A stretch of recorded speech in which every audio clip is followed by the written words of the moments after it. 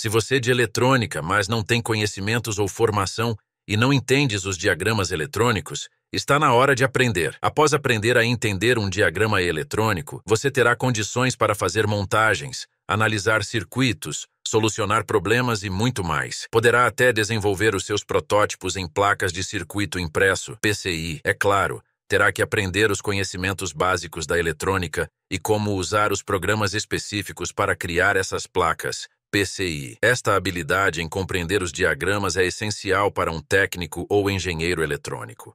Os diagramas de circuitos eletrônicos são comumente chamados de diagramas esquemáticos ou simplesmente esquemáticos. Para conhecer esta técnica de leitura de diagramas, vamos primeiro aprender sobre os símbolos dos componentes e depois aprender como interpretar os diagramas com vários componentes interligados. Nesse novo episódio da nossa série, Como Aprender Eletrônica Sozinho do Zero ao Avançado, mergulharemos fundo na fascinante simbologia dos componentes eletrônicos. Se você já se perguntou o que cada símbolo em um diagrama eletrônico realmente significa, este é o vídeo para você. Vamos explorar os principais e mais conhecidos símbolos dos componentes eletrônicos, desvendando seus segredos e revelando como eles se relacionam com os próprios componentes. Entender a simbologia dos componentes é o primeiro passo para dominar a leitura de diagramas e avançar em seus conhecimentos em eletrônica. Se você está pronto para elevar suas habilidades a um novo patamar, junte-se a nós neste emocionante episódio. Inscreva-se no canal e ative as notificações para os próximos vídeos. Estamos ansiosos para explorar os segredos dos componentes eletrônicos com você.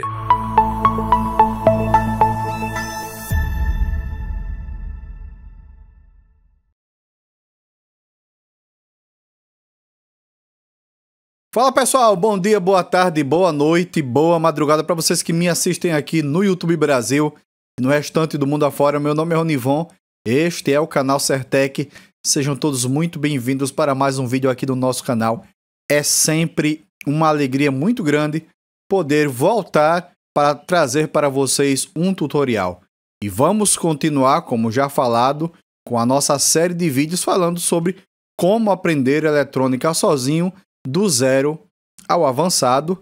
Para você que não sabe, nós temos uma playlist.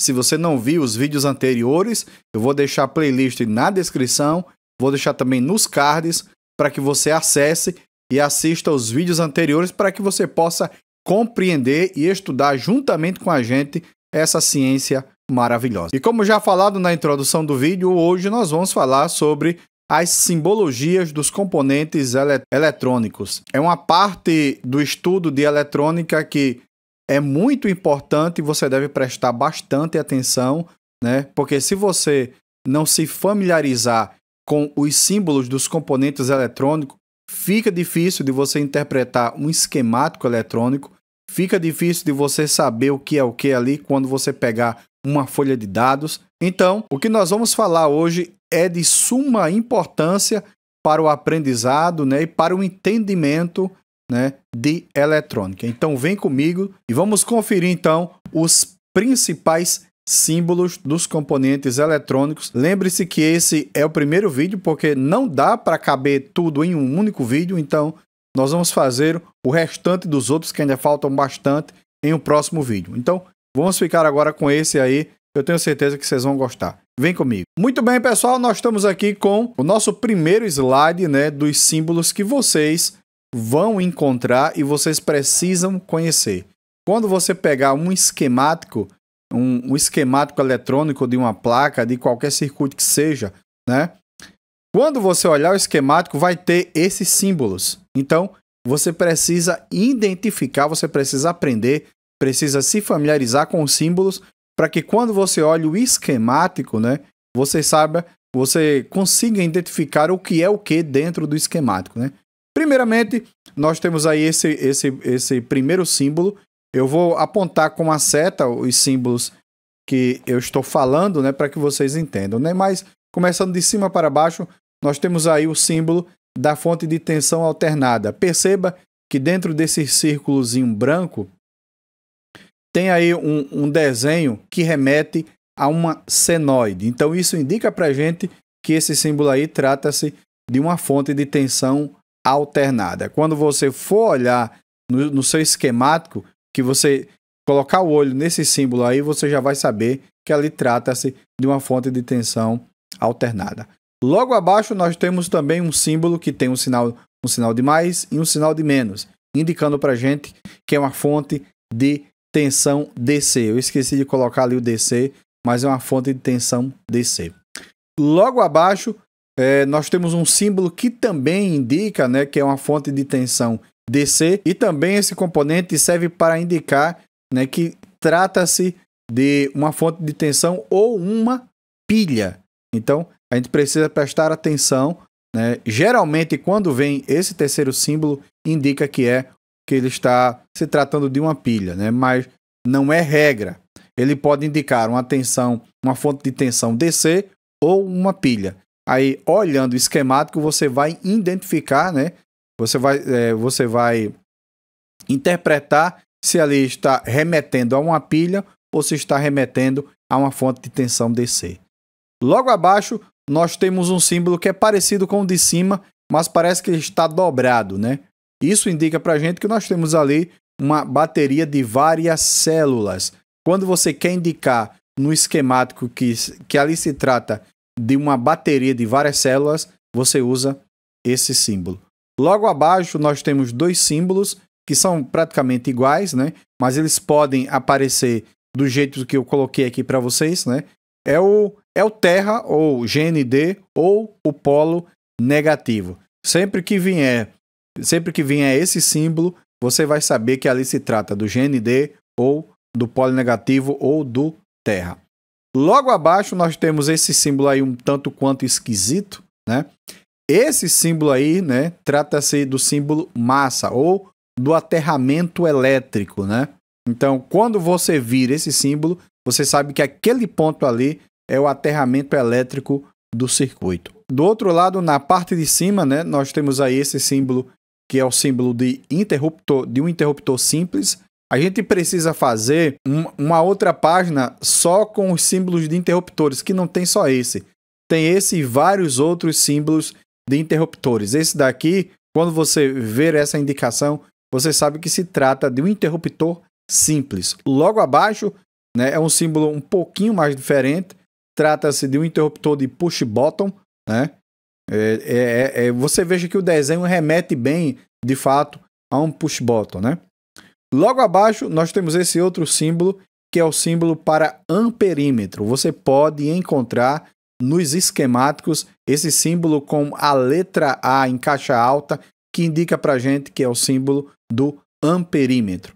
Logo abaixo, nós temos um parecido com o de cima, mas só que ao invés da letra A, nós temos agora a letra V, indicando para gente que se trata de um voltímetro. Logo abaixo, nós temos um outro também parecido, que tem a letra M no meio. Aí você já sabe que se trata, é, é o símbolo que indica motor. Então, memorize bem, né? Se quiser tirar um print se quiser tirar um print aí da, da tela, tire. Eu vou, eu vou sair de cena para que você para que você tire aí o print. Vamos lá, eu vou sair de cena agora. Pronto, sai de cena, então aproveita e faz o print aí, né?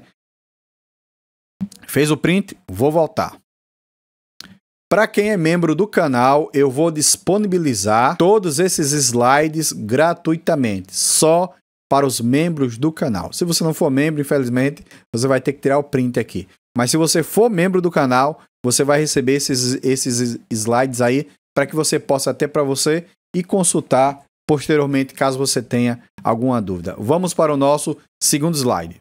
Pessoal, agora no nosso segundo slide o negócio começa a ficar um pouquinho mais complicado. Você veja que agora, ao, ao invés de só colocar os símbolos, eu também coloquei o aspecto físico dos componentes, né, para que você já possa ir se familiarizando, né? E quando você bater um olho do componente, você, né, já vai trazer para você uma lembrança, né, de como é o símbolo daquele componente, né? Primeiramente ali, nós começamos com um símbolo para resistor, né? Você pode você pode encontrar esses dois símbolos que eu estou apontando com a seta, né?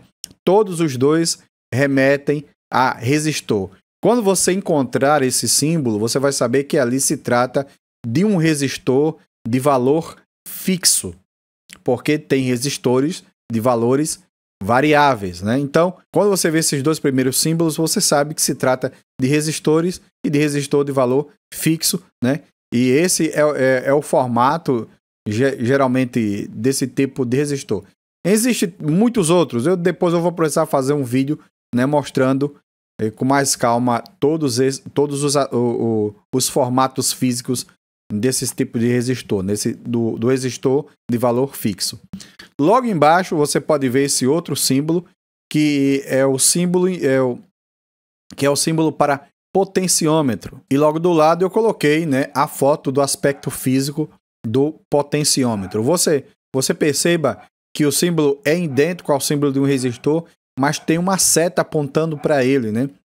Indicando que se trata de um potenciômetro e que esse símbolo aí é um símbolo de um resistor variável, né? Como nós sabemos, o potenciômetro é um tipo de resistor que varia, né, o valor da sua resistência ali quando você mexe aquela alavanca central. Logo abaixo nós temos também outro resistor. Todos esses que eu estou mostrando desse lado de cá, né, são resistores. Veja esse símbolo, né? Nós temos aqui o que? Um termistor. E veja o aspecto físico dele logo do lado. Na parte de baixo, nós temos outro resistor, né? Que também, todos esses que eu estou mostrando abaixo agora, são resistores variáveis, né? Eles variam, né? Dependendo da, util da utilização. Nós temos aqui um varistor, veja logo do lado aí o aspecto físico do varistor. Olhando assim, é mais fácil de você assimilar, né? E memorizar o, o símbolo do componente e o aspecto físico do componente. Logo abaixo nós temos um, o símbolo do LDR e logo do lado ali nós temos aí o aspecto físico do LDR, que também é um resistor variável, né? Ele é um resistor dependente de luz. Dependendo é, da incidência de iluminação que incide em cima desse componente, ele vai ele vai variar para mais ou para menos. Do outro lado aqui, para fechar aí a parte dos resistores, nós temos ali um trimpote, né? Veja o símbolo dele como é interessante. E logo do lado ali eu coloquei dois trimpotezinhos que a gente acaba vendo bastante aí nas placas que a gente pega. Né? Logo embaixo nós temos o símbolo do capacitor polarizado. Você perceba que existem capacitores polarizados e capacitores não polarizados, né? Exemplos de capacitores eh, polarizados são os capacitores eletrolíticos, os capacitores de tântalo, os capacitores SMD e por aí vai, são capacitores polarizados. Você vai encontrar o polo positivo e o polo negativo. Quando você for é, encaixar ele na placa, você precisa prestar atenção né, para não inverter a ordem dos polos. Onde é negativo fica negativo e onde é positivo você conecta positivo. Então, precisa prestar bastante atenção. Os capacitores de tântalo, que são esses amarelinhos, e os capacitores eletrolíticos, né, são os mais conhecidos capacitores é, polarizados. Logo embaixo, nós temos o símbolo do capacitor não polarizado. Né? Para ilustrar, eu, eu, eu coloquei esses capacitores cerâmicos SMD e logo um outro cerâmico e um outro ali de poliéster, né? E logo embaixo nós temos aí o capacitor é, variável. Se você não sabia, fique sabendo hoje nessa aula. Além de, da infinidade de capacitores que nós temos, inclusive eu tenho um vídeo que eu fiquei bastante orgulhoso de produzir falando sobre capacitores. É um vídeo completo. Eu abordo aí todos os tipos de capacitores. Vou colocar na, no, nos links para que vocês para que vocês deem uma olhada, né? Então, logo embaixo aí, como já vinha falando, nós temos aí um capacitor variável, né? Que ele vai variar aí a sua capacitância. Logo do lado aí, eu coloquei, eu coloquei um aspecto físico desse tipo de capacitor. Não é muito comum a gente encontrar nas placas esse tipo de, esse tipo de capacitor, mas é bom que você saiba que existe esse tipo de capacitor que você conheça aí o símbolo do capacitor variável. Vamos para o nosso próximo e último slide. Para fechar essa primeira parte do vídeo, nós temos aqui. Percebam que nós já estamos no, no terceiro slide, né? E nós, nós não vimos ainda nem a metade da quantidade de símbolos que existem, né? Então você precisa estudar diariamente, precisa se esforçar, se dedicar nos estudos para aprender, porque é muita coisa mesmo. Tem pessoa que desiste assim, acha que não vai conseguir, mas não seja essa pessoa. Continue firme, tá bom? Vamos finalizar aqui essa primeira parte. Eu vou produzir a segunda parte e vou trazer aqui para vocês, tá bom? Então, no nosso terceiro slide, nós temos aí, né? É, dessa parte, é, eu coloquei aqui só diodos, né? Porque existe uma infinidade de modelos de diodos, assim como existe uma infinidade de modelos de capacitores, existe uma infinidade de modelos de, de diodos, né? Mas o interessante é que os símbolos, os símbolos para capacitores são só dois, né? Ah, mesmo que seja um capacitor eletrolítico, um capacitor de poliéster, um capacitor não, não polarizado, um, um capacitor de cerâmica, o símbolo vai ser o mesmo. Né? O que vai diferenciar é se ele é se ele é polarizado, não polarizado ou então variável. É isso que vai diferenciar. Já para diodos, a, a, história é outra. Existem diversos diversos modelos com diversas funcionalidades, né? E com diversos aspectos que demanda tempo para você aprender, né? Então eu coloquei alguns dos mais conhecidos, né? Se você percebeu que eu esqueci de algum, coloque aqui nos comentários e diga, Ronivon, você esqueceu do, do componente tal, que a gente faz um vídeo aí trazendo esse componente que eu esqueci, né? Mas vamos lá. O primeiro símbolo que nós temos ali, né? É o símbolo do diodo comum, né? Do, esse símbolo você vai ver direto aí. Geralmente, quando você vê esse símbolo em algum esquemático, você vai, você sabe que se trata de um diodo comum. O símbolo de baixo, você pode ver que ele tem duas setas, é parecido com o de cima, né? Mas tem duas setas apontadas para fora. Né? Isso indica para gente, essas duas setas apontadas para fora, né? Remete à iluminação que o LED produz, né? Esse símbolo é um símbolo de um LED. Sim, senhoras e senhores, o LED é, é um diodo especial, né? Conhecido como diodo emissor de luz. Por isso que o nome dele é um LED. Ele é um diodo também. Né? Então, por isso que existem duas, duas setinhas indicadas para fora, isso remete né, à iluminação, né, aos lumens que são produzidos pelo diodo, pelo diodo LED. Logo abaixo, nós temos aí um fotodiodo. Mas antes de falar do fotodiodo, perceba que eu coloquei ali que eu coloquei ali um diodo SMD, né? E um diodo comum, melhor dizendo. Perceba que eu coloquei um LED comum, que geralmente a gente, a gente é acostumado a ver, e coloquei também um LED SMD. Então, tanto para um quanto para outro, o símbolo vai ser o mesmo, não muda. Né? E logo na parte de cima ali, que eu esqueci de falar, eu coloquei um diodo SMD. Né? É um diodo comum, sendo SMD, esqueci de falar lá, mas aquele vermelhinho ali é um diodo SMD. Para baixo nós temos o fotodiodo e logo próximo aí da palavra fotodiodo eu coloquei para vocês o aspecto físico de um diodo, de um fotodiodo. Você conhecia esse componente? Sabia que o símbolo dele era assim? Perceba que já nesse daqui as setas estão apontando para dentro do componente. No LED as, as setas apontam para fora. No fotodiodo as setas apontam para dentro, né? Ele trabalha recebendo incidências de iluminação. O próximo componente aí é o diodo Schottky. E logo próximo dele aí eu coloquei o aspecto físico dele. Veja como é o símbolo do componente e veja como é o aspecto físico. Existem outros modelos também, né? Eu não pude colocar aqui porque me falta espaço. Aí ia ficar uma bagunça esse negócio. Mas esse é um dos principais modelos desse tipo de diodo. Logo embaixo, nós temos aí o diodo Zener é quase parecido né, com o símbolo de cima, a não ser por dois tracinhos que faltam. Né? Então, nós temos aí o diodo Zener. Logo próximo dele aí eu coloquei um diodo Zener SMD. O de baixo aqui nós temos um diodo túnel, né? Você já conhecia? Já tinha ouvido falar desse diodo?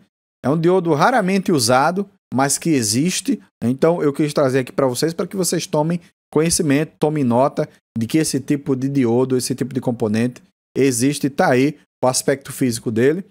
Logo embaixo nós temos o diodo varicap, né? Então, veja como é o símbolo dele. Então, quis trazer para você. Existe esse modelo, existem outros modelos também, né? Mas esse, esse varicap desse modelo que eu coloquei aqui é um dos mais conhecidos, né? Então, eu quis trazer aí para vocês darem uma olhada. Na parte direita aqui do slide, né, nós temos aí o TRIAC, que também é um tipo de diodo. Logo próximo aí eu coloquei o aspecto físico mais comum desse tipo de componente, né? É um diodo chamado de TRIAC. Hum.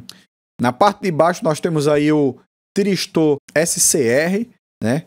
Você veja que você precisa estudar, precisa prestar atenção. Schottky, o Triac e o Tristor são bem idênticos, né? Então, para que você consiga identificar, você vai precisar saber o símbolo de cada um, né? E também olhar o datasheet, né? Para não se confundir na hora de, de identificar um componente. É por isso que vídeos como esse são muito importantes para que a gente consiga aprender o símbolo certinho e o aspecto físico do componente, né? Então, nós temos aí um tristor é, SCR. Logo embaixo, nós temos o DIAC, que também é um tipo de diodo. Veja aí o, o, o aspecto físico dele. E para finalizar aqui o nosso terceiro slide e essa primeira parte do vídeo, nós temos aí um símbolo para uma ponte retificadora de diodos, né? Se você não sabe, aqui no meu canal já tem um vídeo falando sobre como testar e, e o que é uma ponte retificadora de diodos. Dentro desse encapsulado aí, desse componente, existem quatro diodos que formam ali uma ponte retificadora e esse é o símbolo de uma ponte retificadora. Beleza, pessoal? Então, meus amigos, essa foi a primeira parte né, do vídeo Como Aprender Eletrônica Sozinho do Zero ao Avançado. É conhecendo os símbolos dos componentes eletrônicos. Eu espero que esse vídeo tenha sido útil, que vocês tenham gostado. E peço a gentileza de vocês é, curtirem o vídeo, avaliarem o vídeo. Deixa o seu curtir aqui no vídeo, que deu um trabalhão, cara. Tem dois dias que eu estou produzindo esse vídeo para vocês. Então, é, eu não peço nada, peço que vocês deixem aí o seu like, né? Para recompensar o criador de conteúdo. Compartilhe esse vídeo com os teus amigos. Né? E se você quiser apoiar mais ainda o canal a continuar produzindo conteúdos como esse, eu peço que você torne-se membro aqui do canal. Né? Você sempre vai receber um agrado da parte desse criador. A gente vai fazer sorteios também.